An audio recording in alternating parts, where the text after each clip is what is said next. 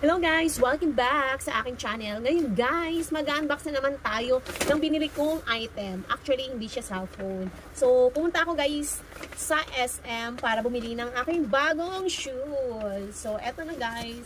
Galing siya SM North EDSA. Doon ako bumili nito. So, yan. Taran! Bumili ako ng shoes. Ang brand ng shoes na binili guys is Merrell. Wait lang guys.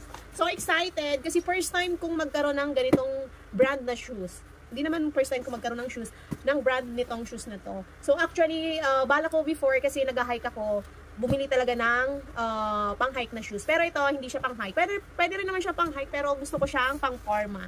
So, ang size ng binili ko pala guys ay size 7 ako. Yan. Size 7 ako sa brand ng Merrell. Pero sa ibang brand guys, talagang size 6 lang talaga ako. Medyo maliit ang size nila, sizing nila. So, pag bibili kayo online uh, ng shoes ng Merrell, actually ako hindi bumili online sa store talaga. Make it sure na uh, i-adjust nyo ng isa yung size ng shoes nyo para hindi kayo mabigo. Charot. So, ito nga pala guys, yung kanyang ano, Bravada Edge. Yan. Yan yung specs niya. And then, ito din yung kanyang price. Yan. Pakita ko.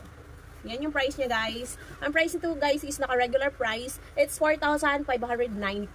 So, medyo pricey talaga po ang Merrell din na shoe. So, ito siya guys, yan. Kitang-kita nyo. So, na, sobra ako kasang nagandahan dito, kaya binili ko na rin siya. Uh, before pa, ano, yan. Tapos, makikita nyo sa, ano, ito yung pinaka, ano niya, likod niya. Yan. Para makita nyo lang kung gaano siya kaganda. Oh. Tapos, yung kanyang spike talaga guys, yan, oh. Diba? Sobrang nakaka-attract talaga siyang anuhin. Uh, bagong labas nila tong design na to, sabi doon. Kaya medyo hindi pa siya nagma-markdown. So, yung nasa loob yung ano niya, yan. Tapos yung size naman niya is nandito. Yan. Hindi masyadong kita yan. So, ganyan yung design niya ng Merrell na binili ko, guys. Size 7 to. Spike. Ganyan siya kaano. So, hindi talaga, hindi ka talaga madudulas pag ito yung ano, um, binili mo. Quantum grip. Quantum grip siya. Yan. So, dalawang. Ay, syempre pair siya. uh, Raven Noir. O, oh, diba? Bravada Edge. Ang, ano niya, ang kanyang model is Bravada Edge. Yan. Sobrang ganda. Ayan. Ito ang bagong shoes ko. Uh, usually, di ba guys, nakita niyo sa ibang mga video ko, nag-unbox na rin ako ng mga shoes. Actually, uh, recently, back to, ano tayo, back to unboxing ng mga item na ano. Eto guys, ulitin ko, Merrell brand siya na, yan o. Merrell brand uh, Bravada Edge ang kanyang model. Size 7 po siya. Usually, size 6 lang po ako. Pero kay Merrell, size 7 po. And then, ang price nito guys, ulitin ko, uh, 4,590 siya.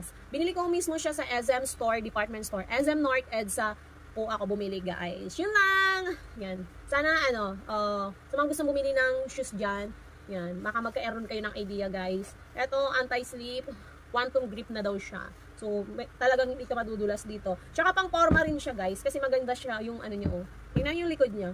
Sobrang nakaka nakaka-attract na isuot. Tsaka sobrang light niya guys ha. Sobrang sobrang gaan. So, ayoko kasing bumili ng mga shoes na medyo ma mabibigat kasi tinatamad ako maglakad. tinatamad maglakad. Ibig sabihin, uh, maliban kasi sa gamit na dala-dala natin, pati yung sapatos, kung mabigat, mabigat, pangit, pangit mag, ano, maglakad-lakad. Yan guys, pang forma, pang hike, kung ano mang pang running shoes, all in one na siya sa Merrell. Hindi lang siya pang ano, yan. ba diba? Yun lang guys, sana ganoon ka na idea. Before Christmas, yan. Pwede yung bilhin pa, uh, pag nakatanggap kayo ng bonus, 13 month, and kung ano man, kung may magregalo, or hingin nyo na lang kaya sa mga jowa nyo. Yun lang guys, thank you for watching. Don't forget to follow and like and subscribe sa mga social media account ko guys. See you on my next video. Bye-bye!